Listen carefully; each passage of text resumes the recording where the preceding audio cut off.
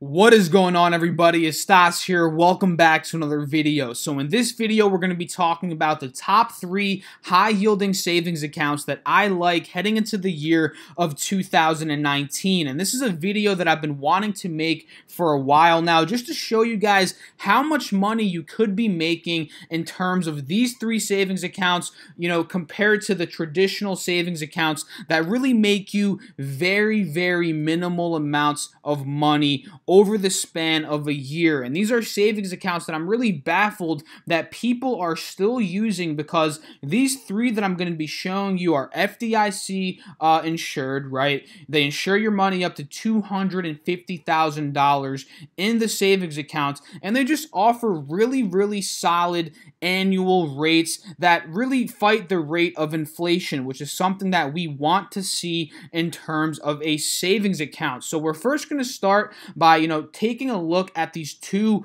low yielding savings accounts, and then we're going to compare them to the three high yielding savings accounts that I'm going to show you guys. So stay tuned for that, guys. Drop a comment, leave a like, subscribe to the channel, and let's hop into my computer and start with this video. So the first account that we're looking at right here is the Wells Fargo savings accounts and the CD, but this is not really about CD. We're mostly focusing on savings accounts. So let's take a look at this one. So this one, you know, Wells Fargo way to save savings account, $25 minimum opening deposit, $0 balance or more. Your interest rate is going to be 0.01%, guys. 0.01 percent. That's pretty much nothing, right? You might as well just get nothing at that point, right? And you know, this one here, you see the balance of zero to $24,999. You'd be getting that same interest rate of 0.01%, bonus interest rate of about 0.06%. And let's say you have 25,000 more dollars or more dollars, you're going to be getting a little bit of a better interest rate here of about 1.49%, bonus interest rate of 1.54%. So special interest rate for the last 12 months and requires 25,000 new funds deposited to the account from sources outside of Wells Fargo or its affiliates. So I'm guessing that's for uh, the $25,000 or more one. And this is the Platinum Savings Account and, you know, very similar rates to the one before. But if you have $250,000 or more, your interest rate is going to be 0.05%, 0.1% bonus interest rate. So again, pennies on the dollar is what we're talking about here compared to the top three that I'm going to be showing you guys later on in this video. So let's hop into a different savings account that offers a very low interest rate and this one is TD Bank. I'm, I'm, sure a bunch of you guys know TD Bank. Maybe not everybody out there knows TD Bank, but this is a very popular bank in my area. And uh, this one offers, you know, TD Everyday Savings Account, zero to $999. Your interest rate is going to be 0.05%. And that's pretty much all the way down to $60,000 and over. And they also offer their own version of a high interest rate savings account, and that is only a 0. 5% yield for pretty much anything over $5,000. And th then they have a TDE premium savings account that's offering 1.2% on anything over uh, pretty much $10,000. So 1.2% is the highest they offer, and uh, Wells Fargo is about 1.54, 1.55% is the highest they offer. And what, what you want to look at, guys, you know, most importantly with your savings accounts and your checkings accounts is that they are FDIC insured. This is very, very important, guys, and this is something that was talked about in this new Robinhood checkings account that came out, which is not, you know, FDIC insured. And this really scared many, many people from going that route with Robinhood. I'm not too sure what's going on right now. I think it's like a cash management account now or something because you can't really consider it a savings account uh, right now. There's a bunch of weird implications implications that go on with Robinhood. But just to sum it up very quickly, you know, Robinhood made an account that a checkings account that you know is going to be yielding 3% per year. But there's a bunch of implications that go that that's going into that right now. Haven't dug too deep into that, but if you guys want to take a look at that, just search Robinhood three percent. I'm sure many many of you guys already know about this, but that's not what we're going to be talking about in this video. But let's just take a look very quickly at what FDIC means. So FDIC, Federal Deposit Insurance Corporation. The Federal Deposit Insurance Corporation is a United States government corporation providing deposit insurance to depositors in U.S. commercial banks and savings institutions. So very simple. $250,000 is what most of these, you know, insure your money up to. And that's just like a safety blanket for anybody that wants to put money in savings accounts, in checkings accounts, and just put money in banks in general, right? This is something that's very, very important. Uh, and, and, you know, it, it really is the main thing that you should be looking at when you're deciding a to, to pick a bank or savings account other than the yield, uh, you know, the rate that you're getting annually. So let's talk about the top three savings accounts, high yielding savings accounts that I like heading into the year of 2019. And we can start off talking about Marcus by Goldman Sachs. And this is a bank, uh, you know, obviously we know Goldman Sachs, right? One of the biggest investment banks. They have an online savings product called Marcus, right? Marcus, and we can see straight off the bat, this one offers a 2.05% annual return for their savings accounts. And they have a nice little diagram here comparing it to the other banks, right? We saw Wells Fargo 0.01%, Citibank 0.04%, Chase 0.04%, Bank of America 0.06% annual yield. So that's ridiculously, uh, you know, that's ridiculously higher than all of these other banks that we're seeing. And, you know, pretty much, guys, $1 minimum is what you need for this, right? You can see it right here, $1 minimum to earn stated uh, you know, annual return. So, you know, you can open this account, guys, literally put in $5 and you'll start, excuse me, and you'll start getting this 0.05% excuse me again, per year, right? So start saving now and earn four times the national average.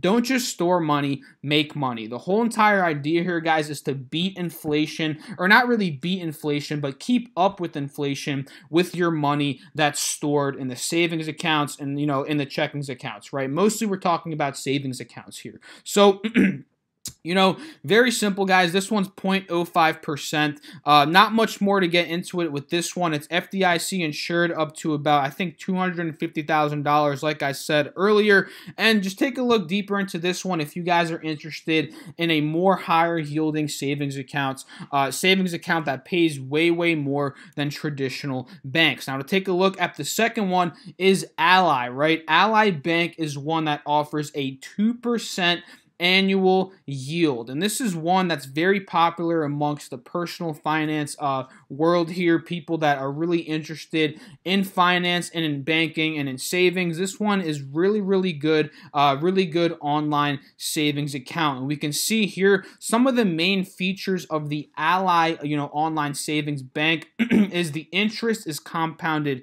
daily, right? You earn a higher rate than traditional savings. Obviously, the FDIC insured is right here. No monthly fees, which is something that you should be looking for as well. In a savings account, you don't really want to be paying monthly fees.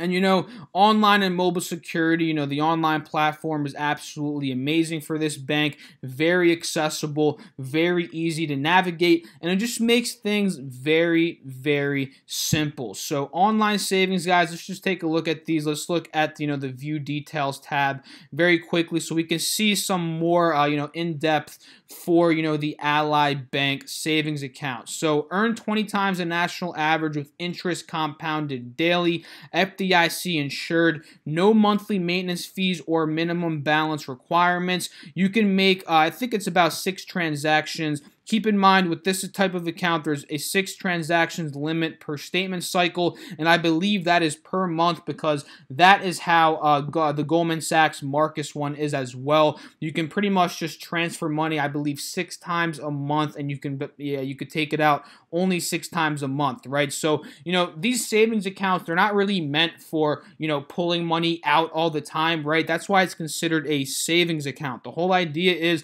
to put money into this every single single week so you can avoid making uh, more than six transactions. Because if you put money every single week, that's only about four transactions per month, and you're under that limit here of six. So be in mind of that, guys, because when I was actually younger, when I was like 16, uh, 17, and I had a bank account, uh, you know, under my parents. Uh, you know, I made this mistake, the savings account mistake of, you know, making like a ton of transactions per day, not per day, but per month, and I pretty much got fined for doing more than six. So I learned my lesson there, but just keep an eye on, you know, these uh, six transaction limits per month. Very, very important. So two percent here, you know, two point oh five percent for the Marcus Goldman Sachs, and this final one I'm going to be showing you, and it also has a little calculator here that we can play with is the one from American Express, and this one offers a 2.1% uh, annual yield for their savings account. So very, very solid,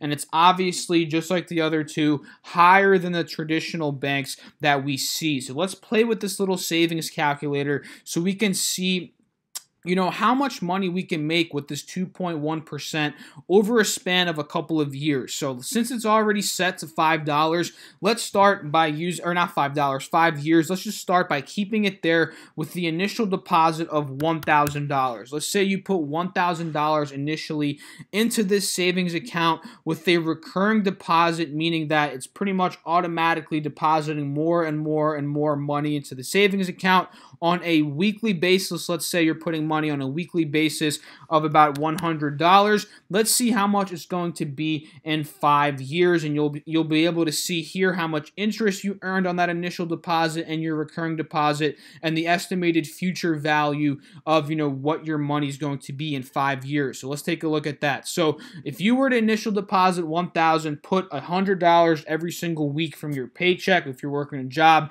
you own a business, you do whatever right? You're going to have an estimated future value of $28,488, and the high yielding interest rate and the compound interest is going to give you $1500 extra on top of that that that you initially deposited and that and the you know the, the deposit that you're you know recurring you know, over the span of five years. So this is very, very solid, guys. If you were to put the same amount of money in one of these Wells Fargo Citi bank accounts, TD bank accounts, I can guarantee you that this number right here would be literally like a $50 to $100, and you'd be earning much, much less on that money that you're, you know, weekly depositing into your savings accounts if you were to be using those, you know, lower yielding accounts. So, just to sum up the video, guys, using high interest accounts is a great way to fight against inflation and make money on top of your money in your savings accounts. Very, very important because the ones that we've seen here, right, these offer very little amount of money unless you have, you know, 10, 20, 30, 40, 50,000 dollars, which a lot of people don't have at first, right? This video is mostly for people that are looking to start saving with a smaller balance of money and make money on top of that, starting out with that small balance of money, right? Because we've seen here that these offer you know, Uh, you know, they offer 0%, 0.5% if you have a small amount of money, 0.01% rather, 0.05%. But these ones, they don't have a minimum deposit. You can literally start with 500 bucks and be earning 2% on that on the annual basis. So for me, guys, since they're FDIC uh, insured, they offer over a 2% annual yield. This is an absolute no-brainer to use these compared to what we see here, Wells Fargo, Citibank, TD Bank, all the ones that we talked about. So I hope you guys enjoyed this video. If you did, feel free to drop a like, leave a comment, subscribe. Follow me on Instagram and Twitter and join our Discord group chat as well as our Facebook group. All of those are linked down below in the description box. And let me know what you guys think about this. Do you guys use any of these investment or uh, savings accounts here from Marcus to Ally to, you know, American Express? I would love to know. What do you guys think about this video? What do you guys think about the topic in general? Drop a comment. I would love to chat with you guys. I'll catch you all in the next video. Peace out.